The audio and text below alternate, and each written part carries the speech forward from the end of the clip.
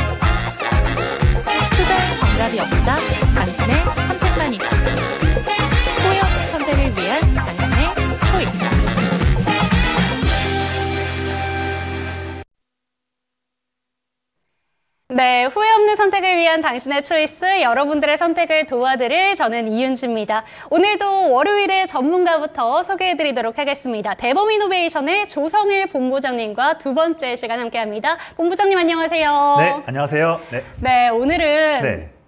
제가 혼자 있어요. 아. 혼자서 노래도 부르고 지금 이런저런 모습을 네. 보면서 본부장님 조금 민망하진 않으셨어요? 아닙니다. 저도 처음에 말씀하실 때 그 피카츄 노래 했지 않습니까? 네. 저도 지금 7살 딸아이를 키우고 있다 보니까 오. 음. 사실 피카츄 노래는 저도 잘 알고 있거든요. 그래서 저도 사실 대기하면서 따라 불렀습니다. 아, 정말요? 네네.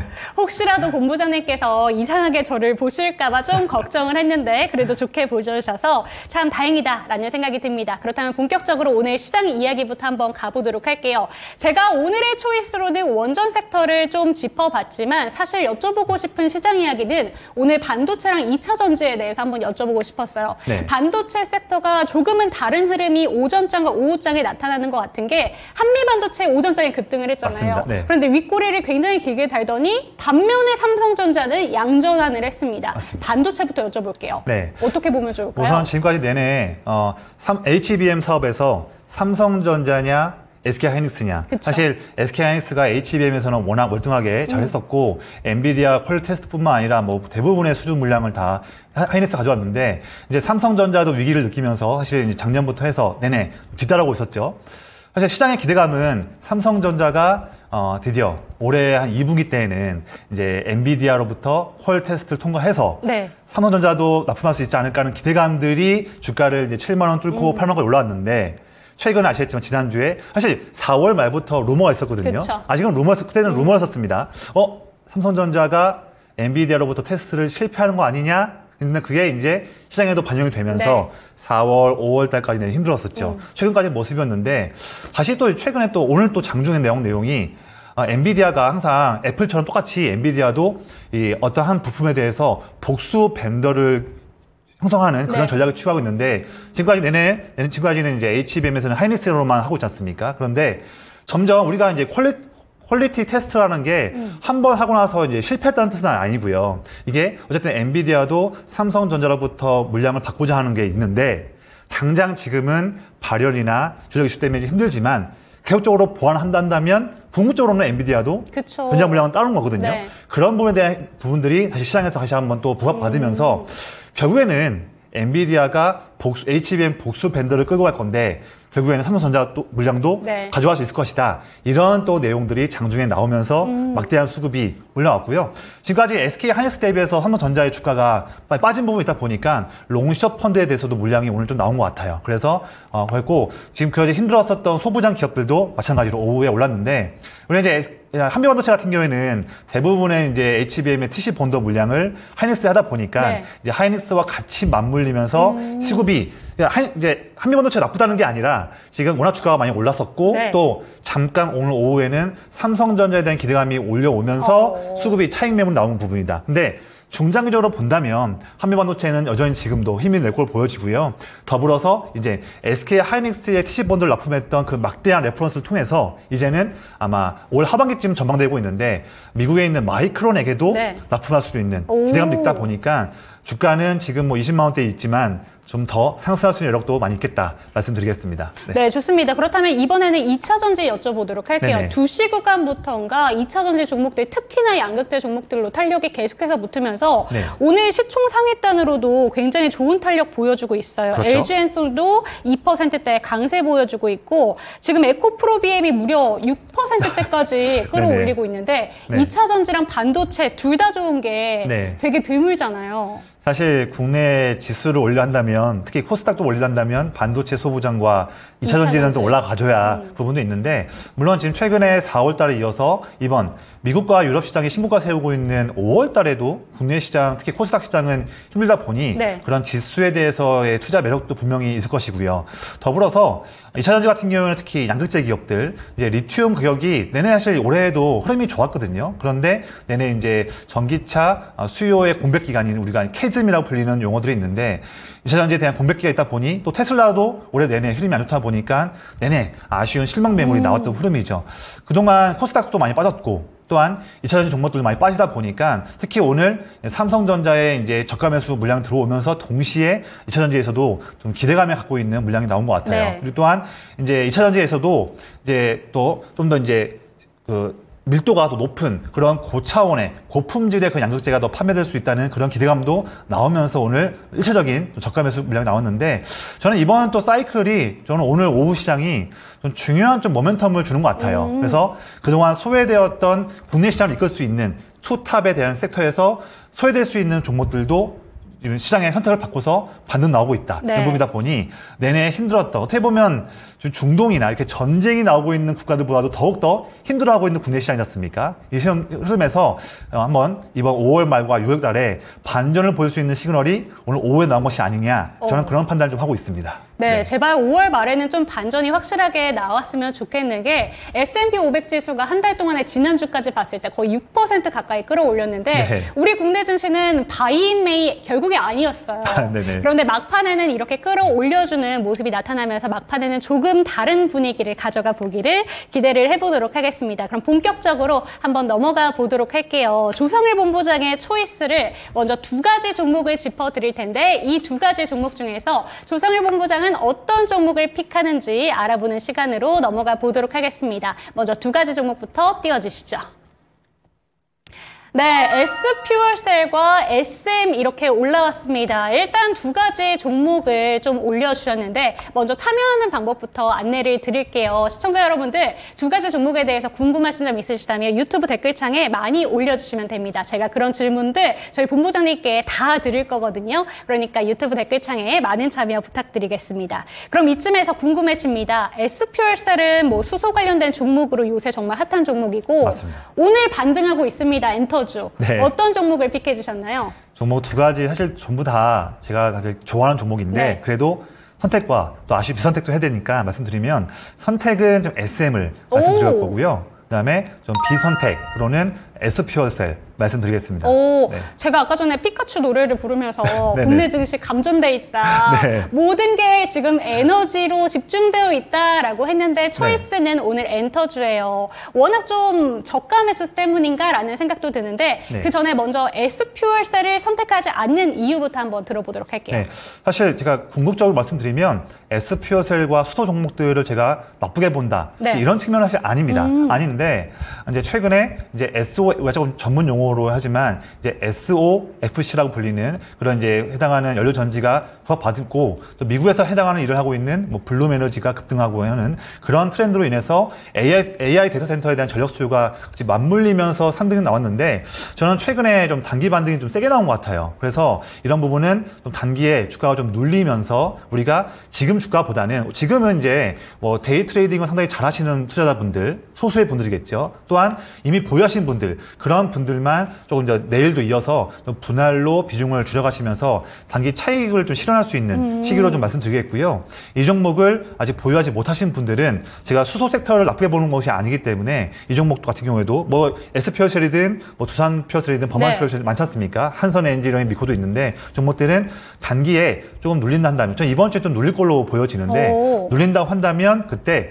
뭐 11선이나 또는 21선 눌림목까지 내려가고 나서 그때의 이후에 눌림 뒤있고 다시 한번 반등 나오는 그런 종목군으로 한번 재공략을 하는 그런 음. 기회를 보시기를 저는 좀 권장을 드리겠습니다. 특히 좀 SP어시를 좀 말씀드리면요. 네. 이 종목은 특히 이제 매출 대부분들이 건물 쪽 건물 발전용으로 쓰이는 수소 연료 전지를 만드는 기업인데 사실 이제 좀 다각화될 필요가 있는 것 같아요. 지금 최근에 시장에서 더 부합받는 것은 뭐냐면 발전용과 또 운송용 음. 네. 이쪽에서 부합받고 있는데 물론 건물용도 물론 좋게 하겠지만 건물용보다는 최근에 내내 어려웠던 수소 섹터에서 드디어 정말 몇 년 만에 다시 한번 운송용을 넘어서 발전용으로도 지금 수요가 음. 좀 몰리고 있는데 이쪽에 대한 그런 그런 도전이 필요할 것이다 말씀드리고 있고 이 종목이 지금 보면 작년에는 적자를 냈는데 올해에는 그래도 소폭의 흑자로 전환될 전망이 오. 있습니다. 그러면은 좋지만 어, 흑자 전망될 수 있는 이익에 대한 개선폭이 이렇게 크진 좀 않습니다. 그래서 그런 부분도 추가적인 어떤 올해에 대해서 사업의 로드맵을 더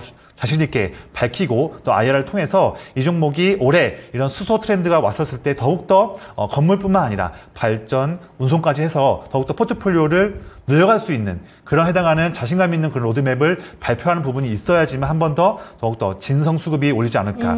지금 이 종목은 뭐 시가총액도 작은 종목이지만 특히나 최근 좀 거래량 터지면서 반등 나올 때 어, 다른 종목들하고는 다르게 어, 외국인이나 기관 같은 메이저 수급, 진성 수급이 오, 들어오지는 그러네요. 못한 부분도 좀 있습니다. 네. 그래서 그런 부분에서도 어, 시가총액이 작은 종목을 할 수도 있겠지만 사실 작은 종목도 메이저 수급들이 뭐 5억, 10억씩 들어올 수 있는 거거든요. 음. 근데 아직은 그런 모습이 못 보이다 보니까 앞서 말씀 드렸던 그런 기업의 체질이 좀더 발전과 운송 쪽으로 바뀌는 부분도 볼 수 있는 부분이 음. 필요하겠다.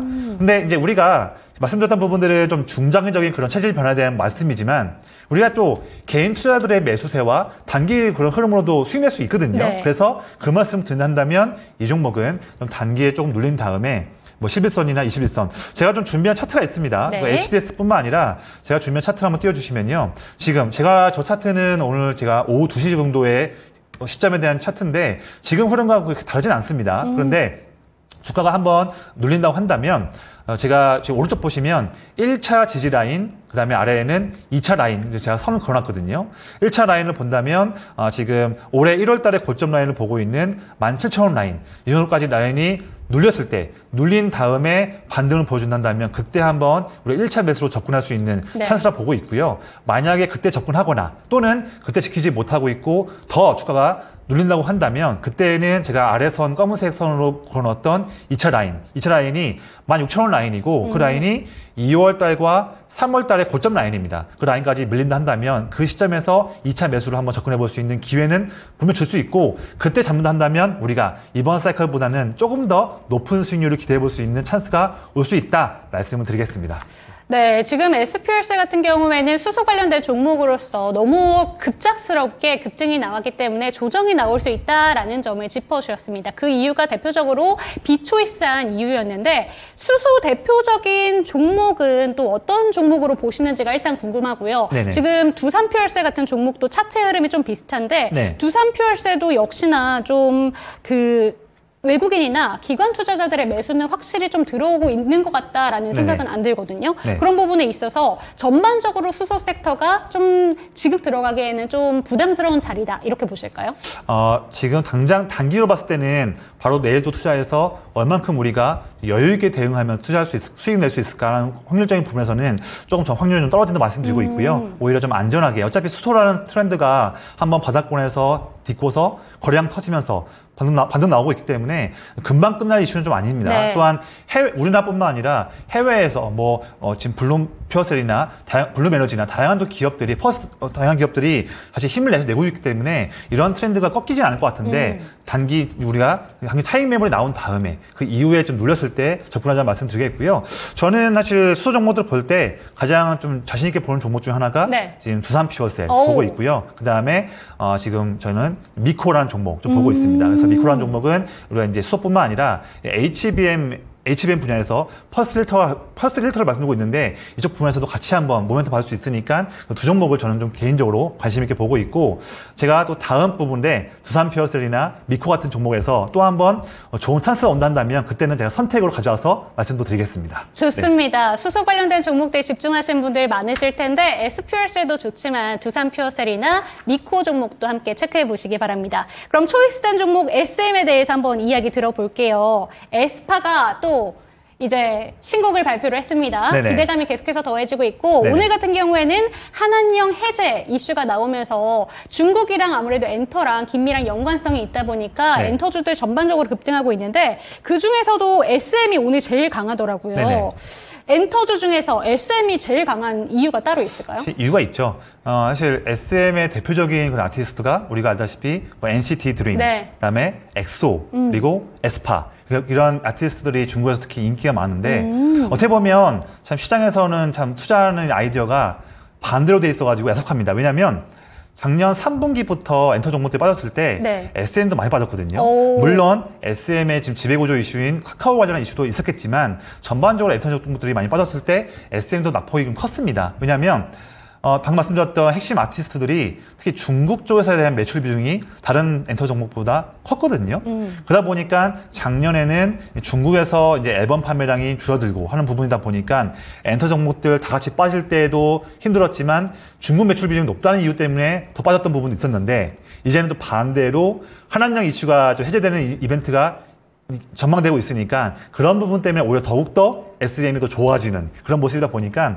참 한 가지 투자 아이디어를 통해서 과거에는 안 좋았지만 오히려 지금은 더 좋을 수 있는 그런 모멘텀이 빠르게 바뀌는 부분도 볼 수 있는데 SM은 그렇게 보고 있고요. 특히나 또 오늘 아시다시피 이제 에스파의 첫 데뷔 4년 만에 첫 정규 앨범이 나왔는데 네. 이것뿐만 아니라 보시면 지금 이제 에스파뿐만 아니라 NCT 드림도 오. 어, 올 하반기 때, 올 6월 달과 하반기 때에 대규모 월드 투어도 전망되고 있고요. 또 에스파도 역시나 이번 6월 말과 7월 달에 대규모 또 월드 투어 일정이 있습니다. 음. 또한 좀 이제 신인 또 그룹들도 어, 2분기와 3, 4분기 때는 발표할 전망이다 보니까 이번 1분기 때는 SM뿐만 아니라 엔터 종목들이 많이 힘들었지만 이제는 이 최근에 중국의 모멘텀을 떠나 함께 해서 네. 이제는 지금부터 해서 뭐 3월, 4, 3분기, 4분기 내내 다시 한번 작년 1분기, 2분기와 함께 해서 다시 한번 상승할 수 있는 모멘텀이 오는 시점이 전 지금이 아니겠냐 생각 들고요. 음. 최근에 뭐 하이브도 그렇고 다양한 그런 이제 엔터 기업들의 아티스트로 인한 좀 여러 가지 좀 안 좋았던 부분들 그쵸.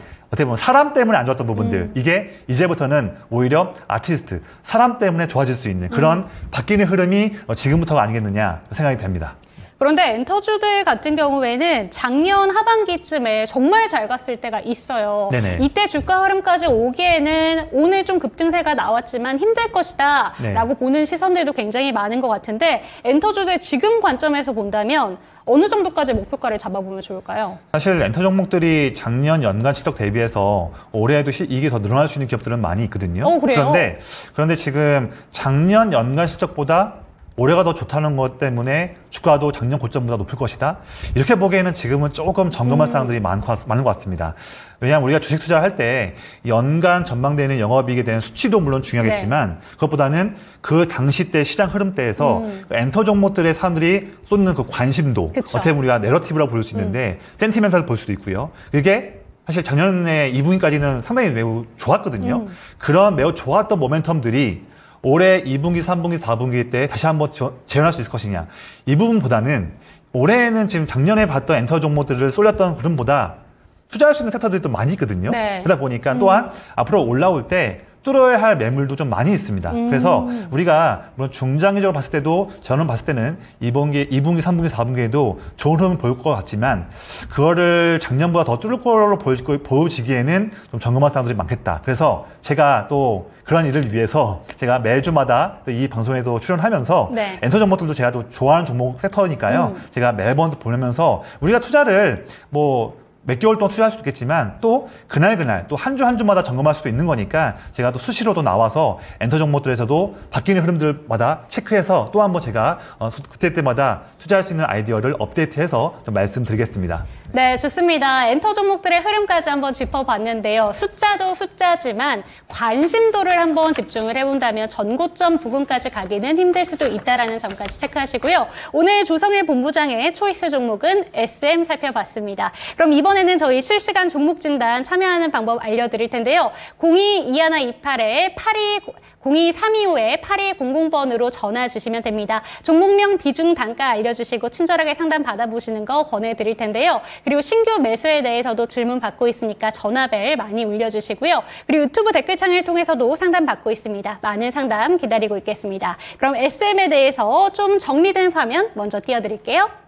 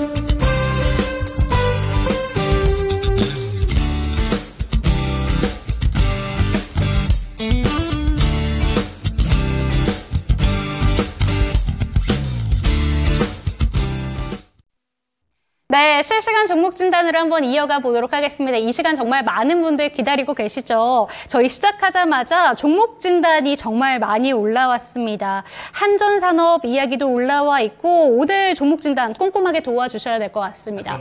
오늘 아무래도 시장 자체가 튀어오르는 종목들이 많다 보니까 이쯤에서 좀 수익을 봐야 되는 건지 이런 부분도 궁금하실 것 같은데 네. 첫 번째 종목부터 살펴보도록 하겠습니다. 네, 첫 번째 종목은요. 유튜브에서 하늘이님의 종목을 체크해 보도록 할게요. 아, PNT 들고 오셨네요. 38,000원 평단가 비중이 굉장히 높습니다. 50% 목표 주가 좀 알고 싶습니다. 이렇게 왔는데 한 달 전에 매수를 하셨대요. 38,000원 구간이시면 지금 확실히 수익 중이신데 오늘도 굉장히 갭상승까지 하면서 튀어오르고 있는 종목입니다. 네네. 이 종목 50% 비중이기 때문에 지금쯤이면 빨리 빠져나오고 싶다라는 생각이 들 것 같기도 하고요. 네네. 어떻게 보실까요? 우선 사실 저는 개인적으로는 한 종목 제가 투자금이 얼마큼인지는 모르겠지만 네. 음. 한 종목의 거의 절반 정도 투자 비중을 유지하는 거는 저는 원칙 권장드리진 않는데 어쨌든 이미 투자한 거 갖고 제가 어떻게 할 수는 그쵸. 없고요. 음. 근데 우선 제가 좀 칭찬 좀 드릴게요. 네. PNT 종목은 뭐 투자하신 타이밍도 너무나 나이스한 타이밍이었지만 종목 선택도 아마 투자를 좀 오랫동안 하신 분 같아요. 오. 정말 이차전지 내에서도 정말 좋은 종목 중에 하나를 또 잘 고르신 것 같습니다. 네. 그래서 저는 PNT 결론적으로 말씀드릴 때는 물론 주가가 5만 원 뚫고서 더 상승한다 한다면 뭐 일부 조금 조금씩 음. 분할로 익절할 수는 있겠지만 궁극적으로는 이거는 당분간 팔지 말자. 네. 말씀드립니다. 왜냐하면 지금 2차전지 종목들이 뭐 양극재, 음극재 대표적으로 소재 기업들이 전기차 수요에 대한 부진한 부분 때문에 캐즘으로 인해서 조금 좀 힘들어하는 부분이 지금 3, 4분기 동안에 이어지고 있지만 지금 반도체 전공 지금 전공정 장비들 장비 기업들은요 상당한 수주를 쌓고 있습니다. 그래서 어쨌든 보면 제조 어떤 업종이든 제조 기업들이 내내 업황이 둔함에도 불구하고 그와 반대로 내내 꾸준하게 효적으로 수주 잔고가 쌓이고 있다 한다면 그만큼 좋은 호재는 없거든요. 그런데 전방 사업의 부진과 아무 상관없이 실력을 인정받고서 수주 잔고가 내내 쌓이고 있습니다. 지금 제가 알고있로는요 전공정 반도체 정, 어, 2차 전지 전공정 장비들이 종목 종목들이 거의 네. 한 20개 정도 되는데 그 중에서 압도적으로 가장 많은 수주 잔고를 쌓고 있습니다. 오. 거의 올해 한 1분기 때가 1조 8천억이었는데 지금 아마 2분기 때는 예상컨대는 거의 수주 잔고가 아마 2조 원 넘을 걸로 보여집니다. 그래서 그만큼 좀 압도적인 잔고를 쌓고 있는데 이게 다 앞으로 몇 년치의 이익을 낼 수 있는 그런 다 그 힘이거든요. 그래서 이 종목은 내내 그것 때문에도 최근에 상승세가 좀 강한 모습, 강한 모습이고요. 이 종목은 지금 차트를 한번 보시면 지금 현재 오늘은 또 상승하면서 단기로는 5만 원을 돌파하지 못하고 좀 밀렸지만 이 종목은 시장만 좀 더 받쳐준다면 5만 원 돌파하는 것은 저는 시간 문제 같아요. 그래서 더 전 보유를 전 권장드리고요. 오. 이 종목을 물론 주가가 좀 더 오른다 한다면 앞서 말씀드렸다시피 뭐 50% 매수한 비중을 만약 100으로 본다 한다면 뭐 주가가 좀 더 올라간다 한다면 뭐 10, 10분의 1 정도씩 네. 조금 조금씩 물량을 익절할 수 있겠지만 궁극적인 목적 궁극적인 큰 물량들은 어, 차트 보시면 지금 작년에 10월 11월 때 이때의 의미 있는 가격이 음. 6만 원대 라인이거든요. 이 6만 원대 라인은 저는 어, 2차전지 종목들이 섹터가 한 번 더 반등 나온다 한다면 그와 더 힘을 더 받, 받아서 6만 원 라인까지 오는 것은 저는 뭐 무리 없다고 봅니다. 어, 예. 6만 원까지요? 5만 원 저는- 넘어서? 저는 무리 없다고 봅니다. 그래서 오. 이 종목은 조금씩 익절할 수 있겠지만 큰 물량들은 더 힘있게 가져가자 이런 말씀 드리겠습니다. 비중이 그런데 본부장님 50%잖아요. 네네. 50% 끝까지 6만 원까지 들고 가는 게 좋을까요? 아니면은 어느 정도는 조금씩 익절을 해나가면서 6만 네. 원에 바라보는 게 좋을까요? 제 생각에는 사실 6만 원 벌 수 있는 부분이 당장 하루 이틀 만에 올라간다면 당연히 또 보셨겠지만 그렇게 되기는 좀 쉽지 않을 것 같아요. 왜냐하면 그동안 아무리 좋은 종목이 바닥에서 올라온다 하더라도 주식이니까 그 사이사이에 오랫동안 뭐 6개월이든 1년이든 좀 물려있는 물량들도 많이 그쵸. 있습니다. 되게 일반적인 투자자분들이 내가 이 종목을 투자했을 때 지금 한 6개월째, 1년째 물려있는데 그게 본전 근처에 온다 한다면 그 물량들도 또 일부 손절을 감정, 손절을 하는 물량도 많이 있거든요. 지금 PNT는 또 그런 물량들도 네. 많이 또 있습니다. 그래서 6만 원까지 제가 봤을 때는 단번에 오르긴 좀 쉽지 않을 건데 음. 그렇게 하는 과정 속에서 분명히 주가는 지그재그로 올라간단 말이죠. 그런 지그재그 상승하는 부분에서 얼만큼 지금 의뢰하신 분께서 얼만큼 그거를 강하게 견딜 수 있을지 그 부분은 제가 잘 모르겠습니다. 네. 그래서 어, 안전하게 본다 한다면 어쨌든 50%의 투자 비중도 좀 큰 비중이니까 음. 어, 뭐 예를 든다면 제가 좀 권장드리는 방법은 지금 이제 49,500원인데 주가가 좀 더 올라서 예를 들면 우리가 뭐 천 원 단위로 네. 해서 예를 들면 5만 2천 원대 한다면 그때는 기계적으로 한 뭐 10% 정도 비중을 좀 줄인다거나 또는 더 올라서 만약 다음 또 물량을 했을 때 5만 5천 원 온다면 또다시 한 10% 정도 비중을 좀 줄이고 또 상황을 보는 그렇게 좀 천 원 단위나 2, 3천 원 정도 단위에서 올라갈 때마다 좀 기계적으로 조금씩 물량을 정리하시면서 좀 큰 물량들은 좀 더 보는 그런 관점 보시는 게 오히려 이 종목이 상승하다가 어떤 단기 흐름 때는 또 차익 매물이 나와서 또 밀릴 수도 있거든요. 그쵸. 그럴 때에 물량을 아예 안 팔고 있다 버리면 단기에 투자 심리가 흔들릴 수 있어요. 음. 또 이게 이게 우리 사람이라는 게 손절 물량이 지금 손실이 큰다 한다면 강제로 장기 보유하겠지만 수익 중을 한다면 잠깐 흔들리면 또 팔 수 있거든요. 맞아요. 음. 그러다 보니까 저는 그런 부분까지도 감안을 해서 말씀을 드리는 부분입니다. 네. 네, 좋습니다. PNT 종목 살펴봤더니 저희 하늘이님께서 PNT 진단 너무 감사합니다. 이렇게 올려주셨습니다. 성공 투자하기를 기원을 해드릴 거고요. 지속적으로 저희 당신의 초이스에 상담을 올려주시면 좋을 것 같습니다. 네, 오늘 2차 전지 장비 종목들 그래도 몇몇 종목들이 잘 가다 보니까 PNT 종목도 이렇게 주가 흐름 좋게 나타나고 있는데요. 어떻게 매도를 하는 까지 좀 구체적으로 짚어주셨으니까 참고가 되셨으면 좋겠습니다. 네, 다음 종목은 유튜브에서 007빵님의 종목을 가보도록 할게요. 슈어 소프트테크 11,000원 20%. 작년에 사고 이 종목이 계속 빠졌었는데 오늘 갑자기 튀어 오릅니다. 기다리면 탈출 가능할까요? 이렇게 보내주셨는데요. 저는 사실 이 종목이 자율주행 관련된 종목으로만 좀 알고 있었는데 네네. 오늘 SMR 이슈가 좀 붙더라고요. 네네.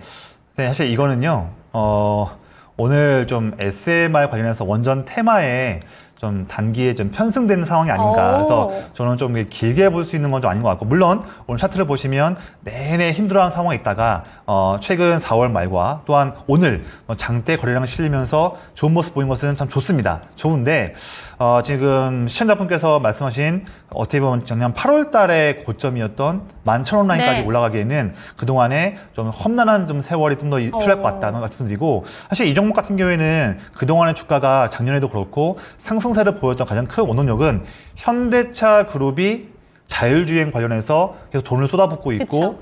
장기적인 성장에 대한 비전을 제시하고 있는 부분들 거기에서 이 동사의 소프트웨어 관련한 기술력이 인정받으면서 현대차 이슈에 맞물리면서 상승했던 부분이 있는데 그것이 깨지다 보니까 내내 주가가 힘들었던 부분이죠. 뭐 오늘 지금 이제 이 종목이 한국형 원자로 이제 계측 제어 시스템 여기에서의 시행 검증을 한 15년 정도 수행하였다. 그러면서 이제 그런 뉴스케일 파워 관련한 그런 이슈로 올라왔지만 사실 이 종목이 사실 어떻게 보면 찐 어떻게 우리 말하는 찐 원전 기업은 사실 좀 아니거든요. 그쵸. 만약에 올라가다가 또 자율주행 관련해서 또 투자 심리가 또 식어진다면 또다시 가장 먼저 차익 매물 나올 수도 있는 그런 위험성이 있을 수 있습니다. 음. 그래서 이 종목을 보유하신다 한다면 물론 지금 11,000원까지 좀 지금부터도 거의 주당 5,000원 이상이 더 올라야 되는 네. 그런 좀 힘이 필요한 부분이고 지금부터는 거의 뭐 80% 이상 올라야 되는 부분이 있는데 저는 우선은 단기적으로 봤을 때 어, 올해 1월 달에 기록했던 8,000원 라인을 터치할 수 있는 부분까지는 충분히 올 수 있을 것 같아요. 그래서 어, 좀 아쉽지만 전 그래도 또 이 방송에 나와서 제가 또 19년 동안 쌓았던 저의 섹터와 종목을 분석하는 그런, 능- 그런 노하우를 다 체크해서 말씀드려야 되기 때문에 그런 노하우를 가미해서 좀 말씀드린다 한다면 이번에 7,000원대 후반대나 아니면 8,000원대 잠깐 돌파한다고 한다면 그때는 조금은 좀 아쉽지만 물량을 한 뭐한 4분의 1이나 한 3분의 1 정도는 조금 더 비중을 좀 줄여주시기를 권장드리겠고요. 만약에 7,000원대 후반까지 왔거나 8,000원 돌파해가지고 물량을 좀 정리했는데 더 올라가지 못하고 만약에 7,000원대 후반에서 이하로도 밀린다 한다면 그때는 물량은 좀 아쉽지만 정리하시고서 다음 종목들을 좀 공략하시는 그 부분을 말씀드리겠고요. 만약에 말씀드렸다시피 뭐 8,000원대 초반 라인을 돌파해가지고 일부 물량을 정리했는데 더 올라간다 한다면 그때는 어 9,000원대 만 원대 이렇게 천 원 단위로 올라갈 때마다 일부 물량 조금씩 정리하시는 거 말씀드리겠고 왜냐하면 현대차 어쨌든 이 슈어소프트테크가 가장 크게 올라갈 수 있는 그런 원동력은 현대차 그룹의 자율주행 관련한 큰 트렌드가 매우 중요한 네. 그 주가 상승의 동력일 것인데 사실 현대차가 내내 자율주행 관련해서 도전을 하고 있지만 사실 지금 자율주행 부분이 지금 레벨 3에서 레벨 4 단계로 올라갈 수 있는 부분에서 많이 힘들어하는 부분이 그쵸. 좀 보입니다. 테슬라도 그렇고 해서 하다 보니까 당장 자율주행 관련해서 큰 모멘텀이 있을지는 좀 점검할 사항들이 많이 있거든요. 물론 자율주행이요. 8월 8일 날에 테슬라가 로봇 택시를 공개하는 부분도 있고요. 또한 어, 2005년 상반기 때 현대모비스가 또 앞서 나가면서 자율주행 4단계의 실증차 운행 일정이 있기는 하지만 그 부분이 내내 지금 기대감으로 있는 이슈예요. 그래서 이 부분에 대한 것을 보기에 보면서 또 보기에는 이번 SMR 관련해서 주가가 좀 올라왔을 때 그때 일부 물량을 정리하는 부분으로 활용을 하자 이런 말씀을 좀 드리겠습니다. 네, 좋습니다. 그런데 자율주행 관련해서 이야기가 나온 만큼 제가 한 가지 종목이 질문을 드리고 싶은 게 있는데요. 네네. HL 만도가 오늘 분봉 차트 상으로도 네네. 꾸준히 우상향을 하고 있습니다. 네네. 근데 슈어 소프트 테크 같은 경우에는 조금 전에 원전 관련된 이슈로 좀 묶였다라고 얘기를 해주셨는데 네네. 자율주행 관련된 모멘텀도 뭐 최근에 드러난 게 있는 건지 오늘 자율주행 관련된 종목도 생각보다 잘 가는 것 같더라고요. 네네. 일단은 뭐 사실 오늘 HL 만도가 어떻게 보면 20일선 눌림목에서 정확하게 네. 큰 상승 나오고 있는데 우선 기본적으로 우리가 ADAS ADAS라고 해서 첨단 운전자 보조 시스템 이 부분에서 거의 뭐 현대모비스 HL 만도는 빼놓을 수 없는 종목이죠. 오. 그런 부분- 부분에서 어쨌든 사실 뭐 자율주행 관련해서는 당장 시장의 레벨 레벨 4에 대한 개화가 아직 멀리 남았다고 하지만 어쨌든 전장 분야에 대한 그런 투- 투자는 이어지고 있으면서 사실 전기차나 수소차 같은 경우에도 전장 분야는 들어가는 부분이거든요. 우리가 흔히 보는 뭐 차선을 이탈했을 때에 경보를 알려준다거나 그쵸. 다양한 많지 않습니까? 네. 뭐 크루즈도 마찬가지고요. 그래서 이런 HL 만도가 만들고 있는 이런 ADASL 관련한 그런 많은 그런 물량들은 좀 국내뿐만 아니라 유럽에서도 수요가 급증하는 부분을 주목받고 있는 부분도 있고요. 또한 지금 HL 만도도 이런 지금 부품에서 AI 테마가 또 엮이면서 같이 오. 상승한 부분도 있는데 제가, 제가 봤을 때는 이제 우리가 만약에 자율주행을 투자한다. 네. 어, 한다면 제가 개인적으로 봤을 때는 음, 우리가 저는 이제 현대 오토에버 음. 그 종목에 더욱더 어, 어떻게 보면 현대차의 자율주행 부분에서 더욱더 밀접한 부분이 있다 보니까 어, 현대 오토에버 그다음에 두 번째로는 어, 이제 테슬라도 하고 있는 부분인데 라이다 그다음에 카메라 쪽을 하고 있는 기업들 그런 기업들에서 뭐 예를 들면 지금 좀 눌려 있지만 뭐 MC넥스 네. 또는 뭐 이제 뭐 피론티 같은 기업들 그런 기업들로 조금 더 압축해서 보시는 부분도 저는 좀 권장을 드리겠습니다. 네, 좋습니다. HL 만도에 대한 이야기까지 자율주행 관련해서도 꼼꼼히 짚어주셨으니까 참고가 되셨으면 좋겠습니다. 어, 저희 채팅창이, 음, 다양한 아재 개그로 좀 넘쳐나고 있어요. 어, 어떤 건가요? 저희 졸고님께서 한 가지 질문을 주셨는데, 저도 이거를 읽으면서도 이해가 잘 안 가는데, 윤쟁이 들어올 때 천이고, 나갈 때 백이 되는 건 뭔지 아실까요? 나 들어올 때 천이고 네. 나갈 때 백이요? 네, 저도 사실 아재. 저도 아재인데 네. 제가 인천 출신이에요. 거기에서 참고해 주시면 좋을 것 같아요. 윤쟁이 들어올 땐 천이었다가 나갈 땐 백이 된대요. 네. 아, 잘 모르겠네요. 네, 인천 아웃백이라고 합니다. 사실 아. 재밌지 않죠? 아 그런가요? 네. 아 저도 사실 아재인데 제가 그 아재 중에서도 그, 그 네. 개그에 대한 트렌드를 제가 못 따라가고 있는 것 같아요. 아. 저 주식도 주식이지만 네. 아재 관련한 트렌드를 더 저도 좀 공부하게 공부도 하, 하겠습니다. 예. 네. 네, 지금 저희 채팅창이 좀 싸늘해졌네요. 네네. 네, 바로 다음 종목으로 한번 넘어가 보도록 하겠습니다. 네, 이번에는 유튜브에서 따상님의 종목을 살펴보도록 할게요. 한전산업 살펴보도록 하겠습니다. 11,700원, 비중은 10%. 오랫동안 보유를 했는데 수익을 볼 수 있을까요? 오늘 급등을 했다가 또 빠지진 않을지 걱정하고 계십니다. 오늘 한전산업 살펴보시면 정말 잘 갔죠? 그런데도 불구하고 21%대까지 급등 을 했는데도 아직까지 수익권을 좀 못 보고 있습니다. 네. 이 종목 이쯤에서 좀 어떻게 대응해야 될지 짚어주시면 좋을 것 같아요. 사실 오늘 거의 한 6개월, 7개월 만에 엄청난 장대 거래량 그쵸. 실리면서 사실 미종목뿐만 아니라 다른 원전 종목들도 다 같이 오늘 힘 있는 모습 보였는데요. 이 종목도 사실 오늘 차트 한번 보시면 그래도 오늘 장중 최고가였던 윗꼬리 대비해서 종가가 그렇게 밀리진 않았습니다. 그만큼 뭐 오늘 상한가 기록한 종목들도 많이 있지만 뭐 상한가 기록하지 못했다 하더라도 그만큼 힘이 가장 강한 종목이라고 볼 수 있을 것 같고요.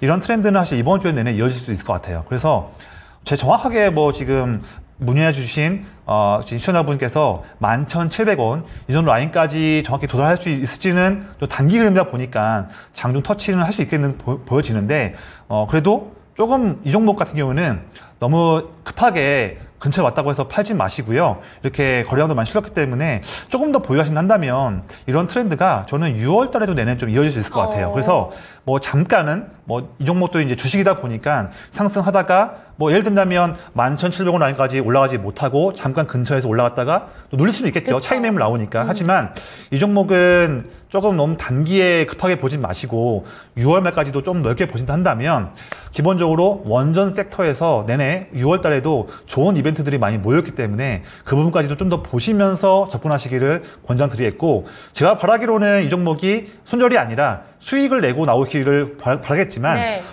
그렇지 않다 하더라도 이 종목은 지금보다 더욱더 손실을 더 줄일 수 있는 기회가 음. 조만간 올 수 있을 것이다 말씀드리겠고 원전 봤을 때 보시면 뭐 지금 최근에 이번 주에 지금 아랍에미리트 대통령이 방한하면서 아 죄송합니다. 저번 주도 그렇고 이번 주에도 자꾸 이렇게 열심히 말씀드리다 보니까 목이 잠깐 메이는 게 있는데 그만큼 제가 정말 열과 성을 다해서 말씀드리고 있다는 점을 좀 감안해 주시고요. 지금 보시면 아랍에미리트 대통령 방한도 있겠지만 그쵸. 더 나아가서 6월달 6월 중순쯤에 이 영국의 원전 협력단도 방한해서 또 한번 체크할 부분이 있을 것이고 또 그리고 7월 초에 아시다시피 30조 원 전망되고 있는 체코 원전 네. 수주 관련해서 프랑스와 경쟁을 벌이고 있는데 이 부분에서 아마 뭐 누구, 누구도 확답할 수는 없겠지만 음. 한국 쪽에서 너 한국이 따낼 수도 있다는 그런 기대감도 많이 모여 있습니다. 근데 또 이게 아니라 하더라도 내년 초에 뭐 루마니아 또한 더 나아가서 동유럽권 국가들에서도 또 추가적으로 음. 수요받을 수 있는 부분이 있다 보니까 원전 섹터는 AI도 같이 엮여 있고 또한 각국의 지정학적 리스크가 커지면서 각, 각국의 에너지 안보까지도 엮이면서 AI와 에너지 안보 더 나아가서 한국형 원전의 강한 모멘텀 통해서 네. 수주 이 세 가지 모멘텀이 같이 맞물려 있는 시점이기 때문에 이, 이런 트렌드는 우리가 단기 대응하지 말고 좀 더 보자 그리고 중장기도 좋겠지만 단기로 본다 하더라도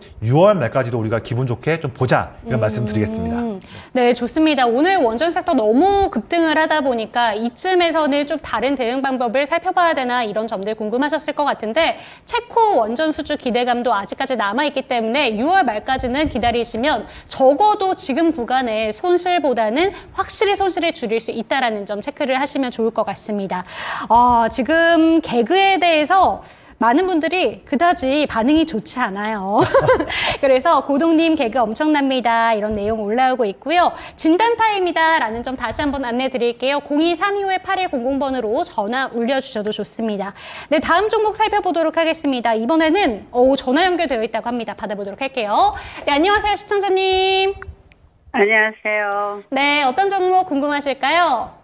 SFA 반도체 6,500원에 15%인데 추가 매수 해갖고 빠져나올 수 있나 싶었어요. 아, 네, 6,500원에 15% 들고 계신다고요.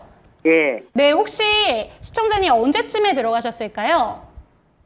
현재는 조금 됐어요. 음, 좋습니다. 지금 추가 매수한다면 이 수익을 좀 돌려서 나올 수 있을까? 이렇게 질문을 주셨는데, 반도체 종목입니다. SFA 반도체. 지금 8,150원 구간부터 꾸준히 밀려 내려오고 있고요. 네네. 저점이 5,500원 구간이었는데 그렇게 큰 반등은 나오지 않고 있습니다. 네. 어떻게 바라보실까요? 사실 최근에 4월달, 5월달 내내 반도체 소부장 기업들이 조금 이제 차익 매물로 힘들어하면서 특히 이제 on-device AI 트렌드와 엮여 있는 기업들 이런 기업들도 그 양질의 수급이 들어오지 못하면서 힘든 상황인데 그래도 이 종목은 차트 한번 보시면 어, 작년 12월 달에 장대 양봉으로 상승한 이후로 주가가 물론 비록- 비록 1월 말 이후로 밀렸지만 그래도 한 5,500원대 라인만큼은 꼭 지켜주면서 네. 그래도 다음 반전에 대한 기회를 그쵸. 차곡차곡 보고 있는 기업입니다. 왜냐하면 물론 지금 최근에 on-device 트렌드가 잠깐 4월, 5월 좀 힘든 상황이지만 그래도 이 기업은요 작년도에는 약 167억 정도 적자를 본 기업이었어요. 음. 하지만 어, 삼성전자와 함께 하면서 on-device 트렌드 특히 삼성전자가 이번 올해에도 더욱더 on-device 트렌드에서 강하게 힘을 실어주면서 네. 해당하는 수주 물량에 대한 기대감 때문에 올해 현재 지금 증권가에서 바라보고 있는 올해 연간 전망 영업이익치가 무려 300억 한다면 작년 160억 정도의 적자에서 300억 흑자 큰 모멘텀을 보일 걸로 전망되거든요. 그런 확고한 이익에 대한 상승에 대한 전망이 있다 보니까 다른 on-device 대비해서는 크게 빠지지 않고 있는 상황이기 때문에 저는 오늘 또 오늘 오후부터 해서 삼성전자도 반등하고 있고 그래서 그동안 소외되었던 on-device 기업들도 좋은 모습 보일 걸로 보여지고요. 오늘 특히 이제 조금 분야는 다를 수 있겠지만 다른 on-device 기업들뿐만 아니라 오늘 또 on-device에서 대장주로 보여지고 있는 뭐 ISC나 네. 유동호흡도 좋은 모습 보였거든요. 음. 그런 트렌드 본다면 SFA 반도체도 지금 은 오늘은 비록 어, 바닥권 잠깐 올라오고 거의 0.8%밖에 못 올랐지만 언제든지 최근 박스권의 저항이었던 6천원 라인은 돌파할 수 있을 것으로 전망되고 있고요. 특히 이 종목은 지금 매수하신 값이 6,500원 라인인데 네. 저는 이 종목은 지금 종목을 의뢰하신 분께서 너무 단기간에만 접근하지 않다고 하시다 한다면 비중도 15%로 한다면 또 그렇게 또 많은 종- 많은 또 물량은 또 아니거든요. 분명히 다른 종목들로도 수익 내면서 이 종목을 여유 있게 볼 수 있는 투자 비중이라고 저는 보여집니다. 그래서 이 종목은 어, 6,500원이 아니라 제 생각에는 6월 달에도 어, 6월에 삼성 파운드리 포럼도 있고요. 또한 6월 10일 날에 애플의 WWDC 이벤트도 있는데 이런 이벤트 통해서 다시 한번 on-device AI가 그동안 소외되었던 2개월간의 흐름을 이겨내고서 한 번 더 상승할 수 있는 투자 심리가 될 걸로 보여지니까요. 이 종목도 5월 중순까지 기본적으로 5월 중순까지는 조금 더 긍정적인 부분에서 보자 말씀드리겠습니다. 그래서 이 종목도 제가 봤을 때는요. 어, 지금 의뢰하신 분께서 조급하지만 않다 하시다면 이 종목도 저는 7천원대 이상을 해서 오. 수익으로 나올 수 있는 종목으로 볼 수 있겠다 좀 말씀드리겠습니다. 6월 중순 말씀하시는 거죠? 6월 중순에서 6월 말 사이에 7천 원 올라갈 수 있다고 저는 보여지고 있습니다. 네, 시청자님 그래도 지금부터 추가 매수 그러면 추가 매수 오케이 사인인가요? 아닙니다. 투자 비중이 좀 크세요. 네. 예, 이 종목에 대해서 투- 투자하시기보다는 있는 비중에서 투자하시기를 권장드리겠습니다. 네, 시청자님 추가 매수에 대해서 여쭤보셨는데 추가 매수 안 하시고 지금 있는 비중에서도 6월 중순까지 가져가신다면 7,000원까지는 갈 수 있다라고 얘기해 주셨습니다. 혹시라도 추가적으로 궁금하신 점 있으실까요? 네, 없습니다. 감사합니다. 네, 수고하세요. 다음번에 연락 또 주세요. 네. 네, 이렇게 SFA 반도체까지 살펴봤습니다. 다행입니다. 이 종목 참 오랫동안 좀 네. 쭉쭉 빠지다 보니까 고생이 많으셨을 것 같은데 추가 매수 없이 반등이 나올 수 있는 종목이다라고 짚어주셨습니다. 네, 그럼 다음 종목도 한번 살펴봐야 될 것 같았는데 네네. 시간이 와 이렇게 빠르게 가네요. 벌써 4시 50분이 돼서 이쯤에서는 이제 한번 정리를 해보도록 하고요. 내일장 초이스를 한번 짚어보도록 하겠습니다. 오늘 그래도 코스피와 코스닥 다 양전환이 되면서 마무리가 됐는데 네. 내일장은 좀 어떻게 좀 살펴보면 좋을까요? 네. 사실 시장에 지금 투자 자금이 그렇게 많지는 않습니다. 그래서 제한되어 있는 투자금 내에서 계속적으로 어, 글로벌 시장에서도 같이 힘을 내고 있는 AI 트렌드 또한 전력 수요에 대한 급증하는 부분들 이, 이런 narrative에 관련된 기업들과 섹터들이 상승 흐름을 거의 쏠리면서 가고 있는데 아무래도 이번 주에도 아마 이번 주 말에 또 미국의 PCE 발표도 있고요. 또한 또 FOMC 관련한 관련한 부분도 있- 베이지북 부분 관련 부분도 있다 보니까 여전히 이번 주에도 미국의 첫 연준의 금리 인하에 대한 시기가 9월이냐 또 12월이냐 이런 부분에 대한 또 의견 분분하는 것 때문에 불확실성으로 인해서 아마 올해 이번 주에도 시장은 어 이렇게 전력 수요와 AI 트렌드 이런 부분에 맞물리는 종목들에 더 상승이 나올 걸로 보여지는데 그래서 AI 성장 때문에 전력 수요가 급증하는 이런 부분에서 오늘 떴던 원전 그다음에 최근 반등 나오고 있는 어, 네, 지금 태양광이나 풍력 이런 종목들도 수소 이런 종목들에서 순환매가 돌면서 섹터가 상승할 전망이고요. 이런 종목들에서 우리가 방망이는 좀 길게 잡지 마시고 단기에 접근하시면서 이익 실현하고 또 누- 주가가 눌리면 다시 한번 접근하는 그런 전략을 필요, 전략이 지금 필요한 이번 주라 말씀드리고 있고요. 특히 이번 주에 이제 아랍에미리트 대통령이 방한을 하면서 또한 거기에다가 추가적으로 한중일 정상회담까지 있으면서 지금 이제 그동안 소외되었던 엔터 종목들도 상승 흐름 나오고 있고 기존에 내내 강한 흐름이었던 화장품 기업들도 또 다시 상승 나오고 있는 힘이 있습니다. 그래서 지금 예를 들자면 범 중국 관련한 종목으로 보여지고 있는 뭐 화장품, 엔터, 더 나가서 면세점, 뭐 카지노, 여행, 항공 종목들 이런 종목들 같이 한번 체크해 주시면서 이번 주에 흐름 나올 때에 단기 수익을 낼 수 있는 기회가 올 수 있다 말씀드리겠고요. 그래서 방금 말씀드렸다시피 이번 주에 어, 미국의 베이지북 발표가 있고 네. 또 PCE 발표 PCE 발표도 있는데 음. 아시다시피 PCE 발표 개인 소비 지출 발표는 미국 연준이 특히 금리 발표를 결정을 할 때 어, 물가와 고용을 보는데 특히 물가 부분에서 우리가 흔히 뭐 CPI나 PPI를 본다 하지만 연준은 특히 PC 발표를 더 중요하게 보고 있습니다. 그 중요한 발표가 이번 주에 있으니까 이번 주에도 너무 큰 자금을 투자하는 그런 결정- 권력보다는 조금 어, 미국 물가 관련해서 불확실성을 좀 인지하면서 조금씩 어, 물량을 어떤 투자 종목이 있다 한다면 대규모 투자보다는 조금씩 접근하시면서 분할 매수 측면에서 보시면 좋을 것 같고 또한 이미 지금 수익난 종목이 있다 한다면 그 종목들은 좀 분할 매도 측면에서 조금 조금씩 좀 exit를 하시면서 어, 지표 발표에 대한 불확실성을 조금 회피하시기를 좀 권장드리겠습니다. 네, 맞습니다. 정말로 이벤트가 많은 한 주가 되지 않을까 싶습니다. 벌써부터 5월의 마지막 주간, 이제 6월 달을 기다리고 있는데, PCE 발표도 기다리고 있는 주간이기도 하고, 베이지북 공개도 또 있고요. 또 우리나라 안으로만 봤을 때에도 한중일 정상회담부터 UAE의 대통령 방한까지 이벤트가 워낙 워낙 굵직하게 있기 때문에 테마단으로도 움직일 수 있다라는 점 함께 체크를 하시면 좋을 것 같습니다.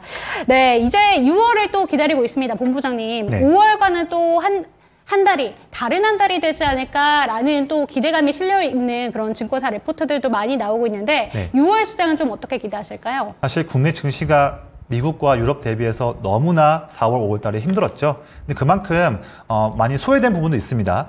어, 똑같이 전 세계적으로 어, 미국에 대한 금리나 관련한 부분들, 시장 금리에 대한 변화는 똑같이 반응하고 있는데 국내 시장만 예를 든다면 뭐 6월 달에 어, 미국의 우리나라가 공매도 일부 재개하는 것이 아니냐 이런 불확실성 또한 올해 연말과 내년 초에 금투세 실행에, 실행에 대한 또 불확실성. 이런 이슈까지도 합쳐지다 보니까 더욱더 민감하게 좀 아쉽게 눌렸는데 이런 부분까지도 조금씩 해결된다고 한다면 조금씩 가셔야 되는 모습 변다 한다면 이런 부분들을 좀 이겨내고서 다시 한번 그동안은 좀 오르지 못했던 소외되었던 부분들이 빠르게 어, 반영될 수 있는 흐름이 저는 5월 이번 주와 6월 달에 나올 수 있지 않을까 하는 전망이 있기 때문에 저는 개인적으로는요 이번 주에 특히 오늘을 기점했을 때 저는 6월 달 시장을 매우 좋게 보기 때문에 저는 좀 자신감 있게 투자를 진행할 그런 계획입니다.